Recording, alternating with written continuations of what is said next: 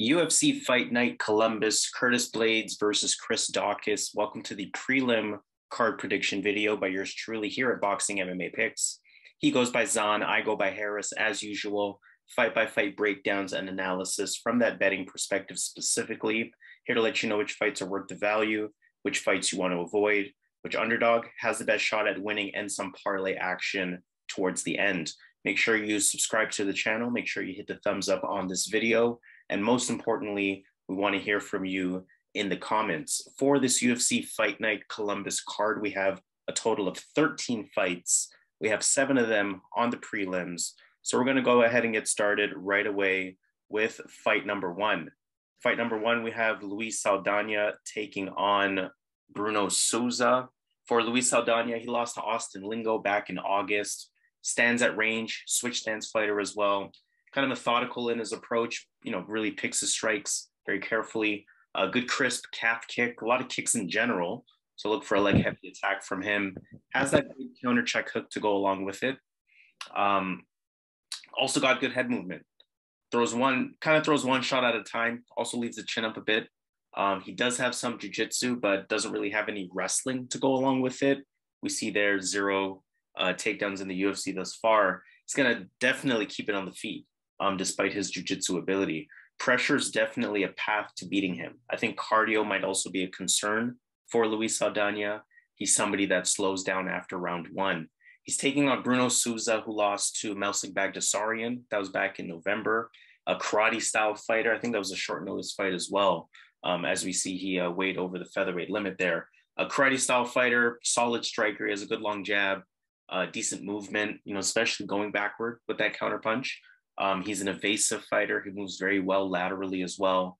Uh, I think he has good kicks. Uh, he is a BJJ brown belt, so has the grappling knowledge to go along with it. Doesn't really have the best takedown defense though. Um, even though I don't think Saldana will necessarily be able to take uh, take advantage of that because I do think that this fight will stay on the feet. I think it'll be a striking match, um, and you know, very hard to score here in a lot of ways, as they do offer somewhat similar strengths amongst them.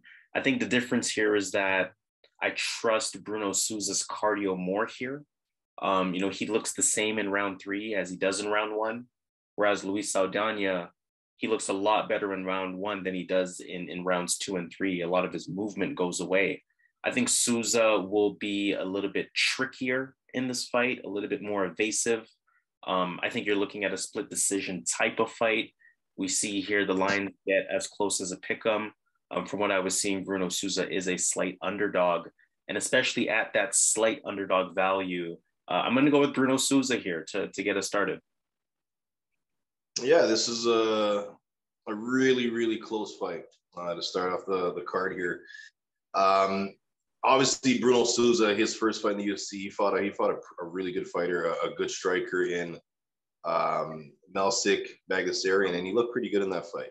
As the fight went on, as you indicated, his cardio held up, and um, it, it, was pretty close. But he definitely lost that fight. Uh, Saldana, though, um, decent striker, active striker. I like his activity. Um, but when he loses, uh, a lot of times um, they grapple him. Jordan Griffin had to grapple him, but he still won that fight. But I'm not sure he that was a kind of questionable uh, decision there. But fighters that can take him down have a lot of success. And obviously, Austin Lingo was was really tough in that fight. He was kind of walking through Saldana's uh, punches. Um, but in this fight, I think it's a completely different fight. They're both going to stand up here. I think Saldana's um, activity is going to win the fight here. I think just being the more active fighter. Bruno, uh, Bruno Souza to me is an inactive fighter.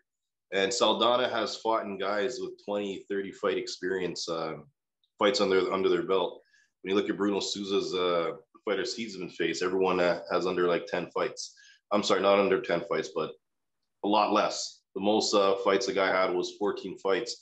Uh, and when you look at Saldana, he's fought a, he's fought a guy that had, uh, let me check here, 50 fights. Uh, sorry, 48 fights. Another guy with 50 fights. 49 fights, uh, 26 fights with Jordan Griffin. So he's definitely the more, uh, he's fought in the more experienced guys. Uh, he's been there. I'm going to pick him to win this fight. It's a close fight. I can't really, um, I don't have much intel to kind of sway me to either side other than I think that Saldana is going to be the, the more active striker. And I think in a close fight like this, that could be enough to to win a to win a decision here. All right, let's move on to fight number two. We have Matheus Nicolau taking on David Dvorak. Um, Matheus Nicolau, he beat Tim Elliott back in October. Good patient movement, good calf kick, a good jab to maintain the distance. Uh, I think he's a pretty effective striker, you know, good at picking his shots, good counter puncher as well. Uh, he will shoot for that single. We see that, uh, you know, he does have decent takedowns in, de- in general, at least based on the numbers, almost two takedowns a fight, um, you know, almost 50% on the accuracy side of things. So he's one of those people that are pretty solid on the feet and pretty, uh, pretty decent with the wrestling as well. David Dvorak, on the other hand, he's on a 16 fight win streak, uh, including 3 0 in the UFC. He beat Juan Camilo Ronderos back in May. I, I like his stand up, you know, good setups, good calf kicks, um, good counter puncher as well. He takes his time on the feet to really, you know, read the opponent and, and read their timing. He has good head movement. He has good striking defense. Um, he has a good pace about him, and he's a pretty high IQ fighter. Um, you know, looks like he's worked on his takedown defense. Um, you know, looks like he's worked on his offensive grappling as well. Um, look for him to keep it on the feet, but again, looks like he's worked on his takedown defense, at least based on his his last fight, if I remember correctly. Um, but looking at this fight, you know, good fight for sure. I think both guys are capable on the feet, but I do think David Dvorak is at a higher level. I think he's a bit more technically sound. Uh, of course, Nicolau's takedowns can be a great equalizer here. Um, like I said, you know, he lands almost two two per fight. But I think Dvorak's improved takedown defense will be a big factor here in this fight. You know, Nicolau may be able to land the takedown in the first round, but I don't think he'll get it, you know, deep into the second round. I don't think he'll get it in the third round. Um, and in those second and third rounds, I think that's when David Dvorak will start to take over in terms of him having the, the sharper striking. Um, so, you know, I'm looking at a 29 28 unanimous decision type of fight here. Uh, Matheus Nicolau is tough, but my pick is going to be uh, David Dvorak. Yeah, this is a, a, tough fight. Reminds me of last week, Jack Shore Valiev. They're pitting uh, two guys um, that have really good potential against each other. Um, obviously, uh, Nicolau has some good wins uh, in the UFC recently. Uh, Dvorak uh, has been looking good as well. Uh, Nikolai is very well rounded. I think he might be the more well rounded guy he might have the wrestling advantage. He has that jujitsu. Um, he can strike as well. Um, but I've seen Dvorak um, be w- really good with the footwork, and he has really good feints in the striking. It's going to be hard to get him to the mat. He does have jujitsu as well. He does have grappling, so he can definitely hold his own in that area. Uh, I think this fight's going to be mainly standing up because of Dvorak's takedown defense. Um, and I, when it comes to the stand up, I think Dvorak, the activity is going to be too much, the movement as the fight goes on. But I think Nicolau can land a shot. He's a, a, sharp striker that I think if he lands, he could put David Dvorak out. Um, but over three rounds, I think David Dvorak's going to pick it up, uh, land land the better strikes, um, use those feints, uh, get good looks here and win a decision. So I'm going to go David Dvorak in, in, a, in a tough fight, but I think he I think he can get it done. Fight number three, Jennifer Maia taking on Manon Fiorot. Uh, can't believe this one's not on the main card, but uh, fight number three for the prelim. Jennifer Maia lost to Katlyn Chookagian back in January, so she's getting back in there right away. Decent boxing technique. She has good hands, good power too. Uh, very comfortable on the feet, physically strong as well. She has a good clinch game, um, good active usage of knees in the clinch as well. Uh, good ground game as well. You know, decent top control. We see she's not gonna actively wrestle and get you down to the ground, only, you know, 0.25 takedowns per fight. But if she does end up on top, again, you know, good, good control on top, active enough in the ground and pound. Um, if you take her down, she's pretty active on her back as well. She'll, uh, you know, attempt submissions. Um, she'll, she'll kind of stay out of danger in a lot of ways.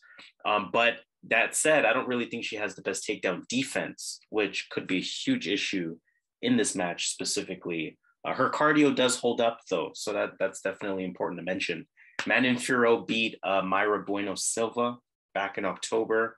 She's three and zero oh in the UFC now. Uh, she's a southpaw karate style fighter, very dynamic striker on the feet, very tricky movement. You know, shuffle kicks, side kicks, uh, combinations, uh, things like that. You know, she has almost that sort of Wonder Boy like movement about her um, in, in, in some ways. Um, she moves very well laterally, very hard target to hit, uh, strong clinch. She has good takedowns as well. She's, we see that she lands almost two per fight. Uh, top control is pretty solid. And, um, you know, she can definitely keep you on the ground with improving position. Good grappler as well to go along with it. Um, you know, she's somebody who, you know, again, is, is a legitimate contender, um, you know, in this flyweight division and, uh, you know, looking to continue her win streak in the UFC. I think this could be a good win on her resume. Um, I do think she is the better overall striker in this matchup against Jennifer Maia. Um, of course, she has more activity. I think that's the key thing. And I think Maia's a weak takedown defense is going to be a key factor in this fight, like I mentioned. I wouldn't be surprised if the fight goes in a lot of ways uh, the, the, same way that Manon Fiorot's last fight went, again, against uh, Mayra Bueno Silva. I can see, you know, Maia being the aggressor the way Bueno Silva was. I can see Fiorot using her kicks to keep distance the way she did in that fight. And I can see Fiorot, um, you know, looking for the takedown when she needs to secure a round in, in what could be close rounds on the feet where Maia has the power advantage. Um, so I think again, Fiorot just offers more in this fight. Um, I can see why she's a big favorite. Um, I wish it was a little bit lower, but I definitely like Manon Fiorot in the spot. Yeah, I think Manon Fiorot's gonna put her away here. I think she's gonna make easy work in this fight. Maia doesn't go for takedowns. She has maybe one or two takedowns in her whole UFC career. And that's going to be big in this fight. I think for her to win this fight, she needs to use that high class jujitsu, get this to the mat, play jujitsu against Man. And that, that's her best. I think that's her only way to win this fight. Um, but I see Manon Fiorot with her physicality, her strength, keeping this on the feet. And I, I think she's the far better striker. So I'm going to go Manon Fiorot here to win a, a, clear, clear win here um, in this fight. Fight number four, Aliaskhab Khizriev taking on Denis Tiuliulin. Um, for Khizriev, he hasn't fought since September 2020. That was on Dana White Contender Series. Um, you know, he's a Dagestani wrestler. Expect him to have that smothering style of wrestling, of course, nasty ground and pound, good takedown defense as well to go along with it. And on the feet, his striking is clean. You know, good kickboxing ability.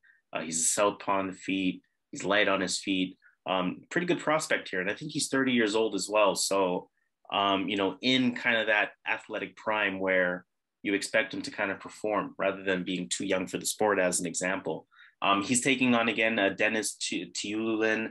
Um, it's his UFC debut as well. He last competed, um, I think, uh, all the way last year, March 2021. A good striker, you know, expect him to control the center of the octagon. He's primarily a boxer from what I've seen. Um, he has good power. Eight of his 10 wins are via KO TKO. So that's something that Khizriev is definitely going to have to be weary of. Uh, my first impression of Denis is that he looks a little bit basic. Um, you know, he might be more dangerous on the feet, but he isn't really a high activity or a high pace striker. And I think that's where Khizriev's movement will kind of allow him to avoid the danger there. Um, although Denis is, is Russian, I don't really see any wrestling out of him either outside of you know fighting uh, the, the, the, those takedown attempts, so showing his takedown defense. Um, but I'll keep it short. I like Khizriev here.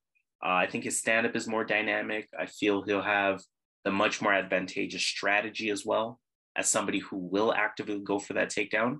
Um, and if you kind of want some intel or some insight, watch Denis Tiuliulin taking on uh, Ikram Aliskarov. That was back in 2020 to get an idea of how Tiuliulin will perform against that Dagestani uh, Russian wrestling style, who's going to actively go for takedowns.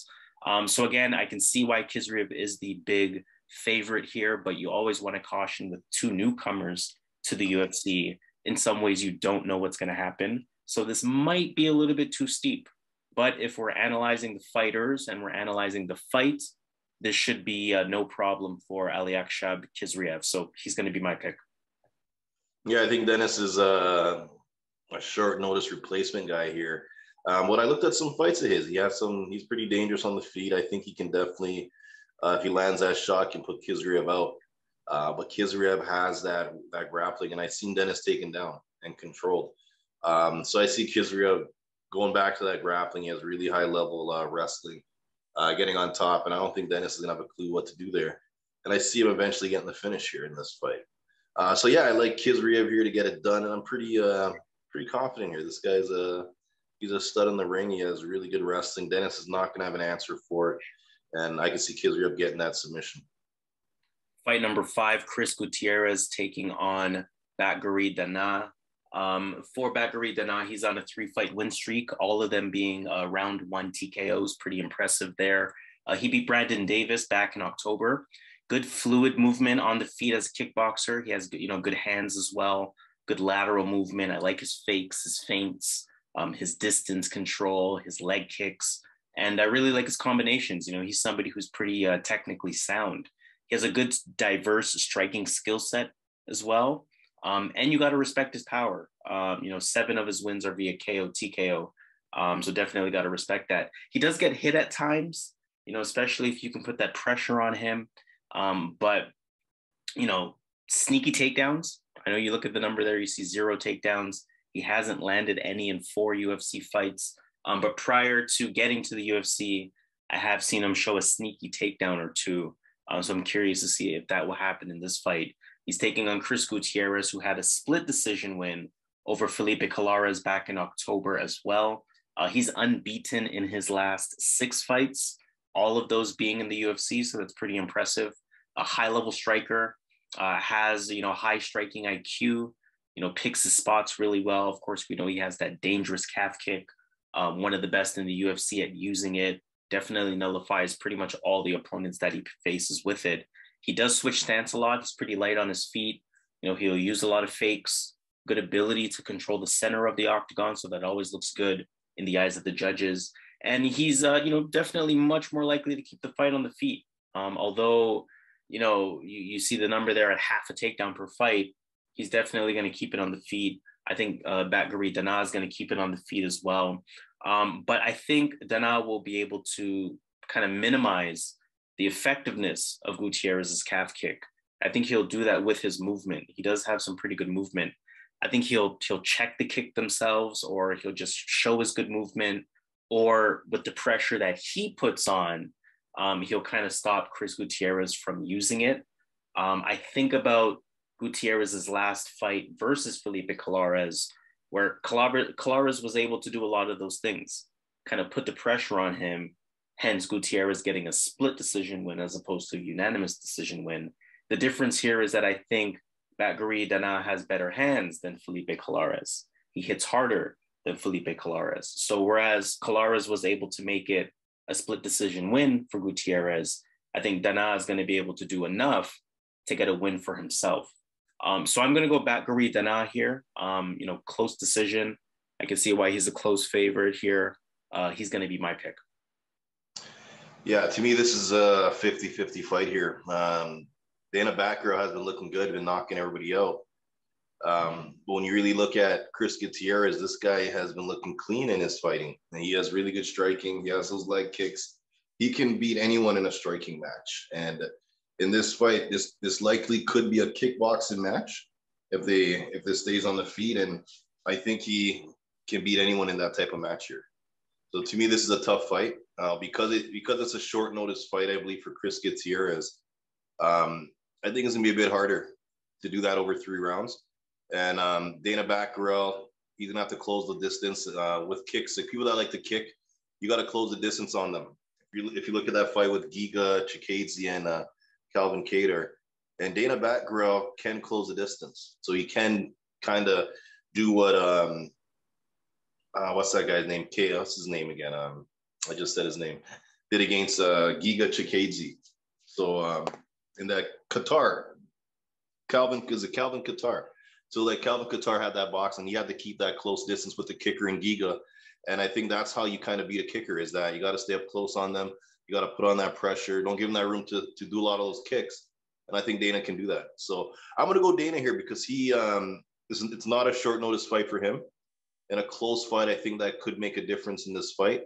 Uh, plus, he has that power. Um, I can see him dropping Chris. I can see him putting him down. Usually, when you knock someone down, you win the round. So um, I like Danaa in this spot, but again, this is this is tough. I think if they fought 10 times, I think each fighter would win around five each. So, uh, but I'm going to go Danaa Batgerel for the channel, but I think it is a, a tough fight. Sixth fight of this prelim card, we have Sara McMann versus Karol Rosa. Uh, for Sara McMann, it's been over a year since her last fight. She lost to Julianna Peña back in January 2021. Uh, we know she wants to bring the fight to the ground. She'll level change. She'll look for the single. She will complete the takedown. Um, you know, good top control, good ability to improve position, to smother, and sort of to win the round from there. She has strong grappling and strong chain wrestling. Um, you know, serviceable stand up, although you know she will usually be at the disadvantage as she will in this fight. Um, you know, her feet are flat. Her her movement isn't amazing. Her striking defense is okay at times, but that's something that could be an issue. Otherwise, I mean, again, look for a lot of fakes and feints from her as she tries to set up that takedown um, the, the ground game is definitely where she wants to thrive. She's taking on Karol Rosa, who I believe is a much more well-rounded fighter. Um, Rosa's on a six-fight win streak. She beat uh, Bethe Correia back in October. Um, solid stand-up. She has that Muay Thai style, stays in the pocket, which I really like about her striking. Um, uses a solid jab, has a pretty solid calf kick as well. She can strike first, or she can kind of play that counter striker role. Um, really up to her, and she can put really good combinations together as well. She does have a ground game in her own right. Uh, we see she averages a takedown and a half per fight. Um, you know, she'll shoot for that double leg. Sorry, at 50% accuracy on top of that. Um, you know, she'll shoot for the double leg. She'll land it pretty effectively. Um, she's solid on top. She she has pretty uh, active uh, striking in terms of you know the the head body strikes, um, kind of going with the ground and pound, kind of keeping it active, not really allowing the referee to stand them back up.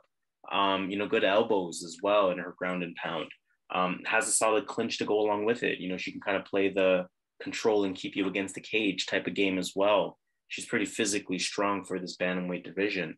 Um, you know, Karol Rosa has especially good ring control. Um, I think she has the much better striking, and I think she has the strength and the ability to wrestle enough to, you know, limit McMann's advantage or potential advantages there. Uh, although McMahon, again, may be the better wrestler I think simply put, this is a very bad matchup for her. Um, I thought Karol Rosa would be probably a minus 300, to be completely honest with you. Um, also considering Sara McMann's age. Um, is in her athletic prime. Sara McMann's in her 40s. Um, I'm going to go with the person in their athletic prime almost every single time. So Karol Rosa, a better overall fighter in her athletic prime, taking on someone who's definitely on the decline. Uh, it seems like the obvious pick uh, especially at minus 220. Pretty good odds there. Yeah, I think this is uh, closer uh, than the odds indicate. I think this is a spot Sara McMann can show out. Um, in a lot of her fights, she gets these fighters to the mat, and um, these fighters eventually submit her on the mat. Julianna Peña was um, was losing that fight. She lost the first two rounds, and was able to get a submission in the third round. Um, Marion Reneau was able to get a triangle choke in the second round. So these are fighters she took to the mat. Um, and either they turned it around as the fight went on, or they caught her in a submission while on the mat. So a lot of these fighters, uh, they have that grappling, that submission background that when Sara goes into that grappling realm with the wrestling, they eventually can catch her slipping. Karol Rosa to me doesn't have that that submission jiu-jitsu that that these fighters have, in my opinion. So I think this could be a tough fight for her. I think if Sara McMann comes out, she's gonna have one, two rounds, and she always has at least a good one two rounds or one round and a half, she gets um, Karol Rosa to, to the mat and grinds out that first round. And if she can get her down in the second round, it's, it's not looking good for Karol. Um, so that's one way the fight can go. And then Karol comes on in the third round, but it's kind of a bit too late. Or Sara gets her down that first round. Then as the fight goes on, second, third round, she can get the takedowns. And Karol is far better than um, Sara McMann in the uh, the striking.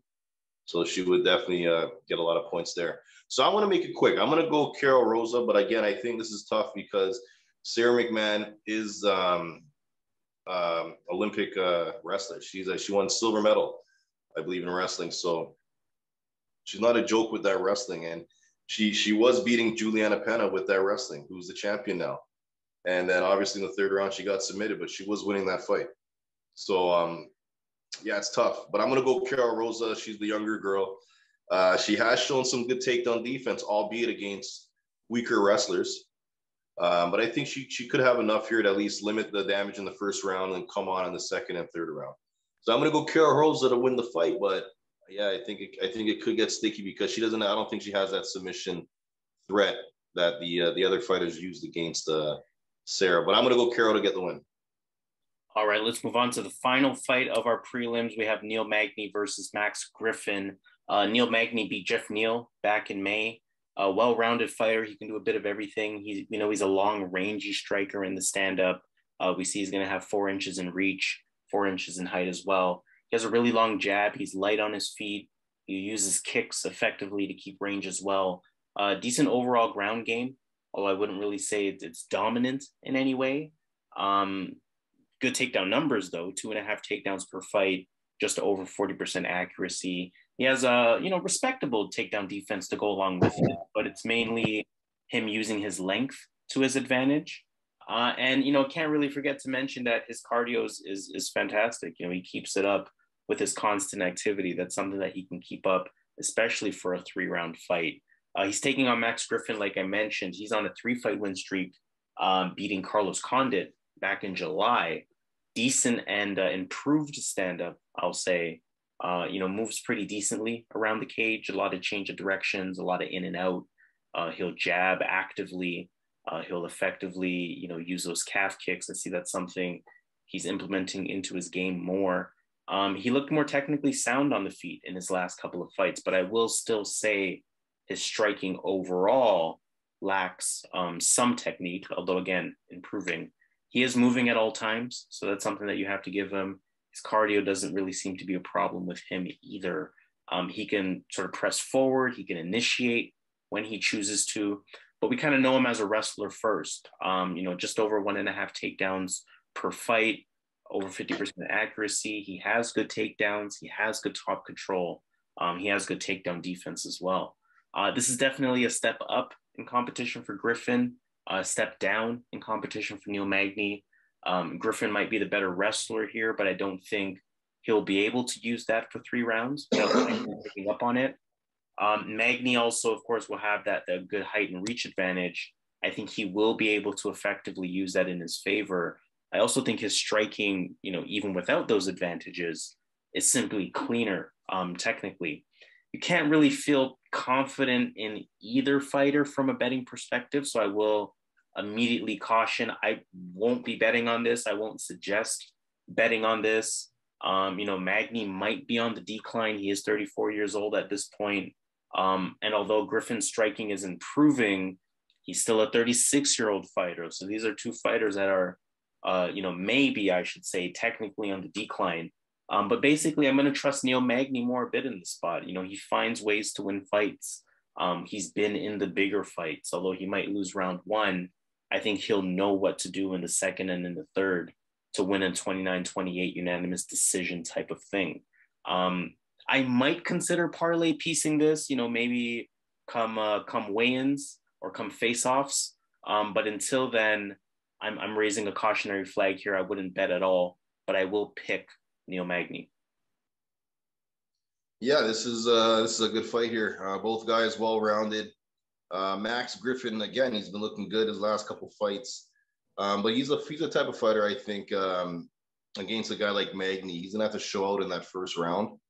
Uh, I think he's gonna he's gonna have that first round to kind of uh, put the damage on Magny that could kind of dictate where the fight goes uh, for the rest of the way.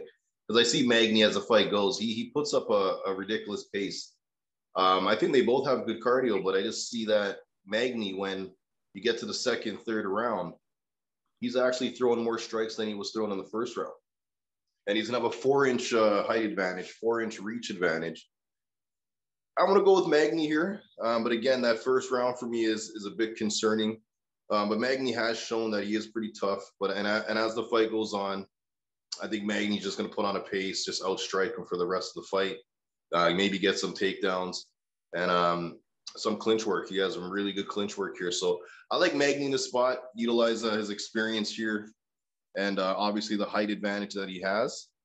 And but the big thing for me is his cardio, his pace. As the fight goes on, he's he's, he's really throwing those strikes at a high rate. So I'm to go Neil Magny. Uh, he should get it done. Neil Magny is my pick. All right, let's take it to Vegas. Let's um, consider just a prelim card, of course, and let's start with some potential underdogs. Underdogs in this situation being Bruno Souza, Matheus Nicolau, um, Jennifer Maia, uh, Denis Tiuliulin, Chris Gutierrez, Sara McMann, and Max Griffin. Um, which underdog do you think has the best shot at winning? One sec here.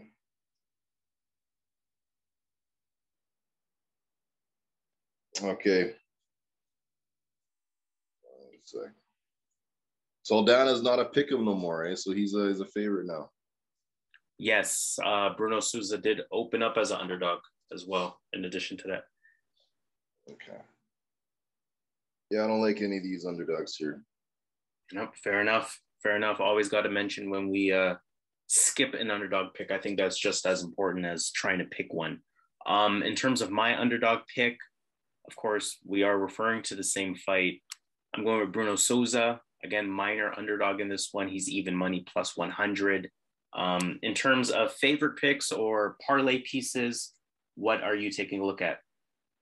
Uh, I'm going to roll with uh, Khizriev, Manon Fiorot, and uh, Karol Rosa. Karol Rosa. There we go. So those three fights would be a plus 114. $100 will return 214 for our bigger betters. $250 will return 535. And uh, again, it's always a good sign when we coincidentally have the same favorite picks. Um, I think those would be the three car- the three fights that I'm really looking at on this prelim card. Um, again, Khizriev, Manon Fiorot, and Karol Rosa.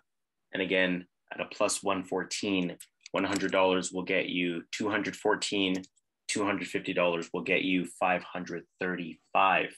So let's sign off there. Of course, we were giving you the prelim card prediction video for UFC Fight Night Columbus, Curtis Blaydes versus Chris Daukaus. Make sure you subscribe to the channel. Make sure you hit the thumbs up on this video. And most importantly, we want to hear from you in the comments. Let us know how you feel about our picks. Let us know what your pick of the under uh, of, of the prelim card or parlay pieces that you're considering. And of course, if you want additional insight and analysis, let that be known in the comments, and we're more than happy to have the discussion with you there as well.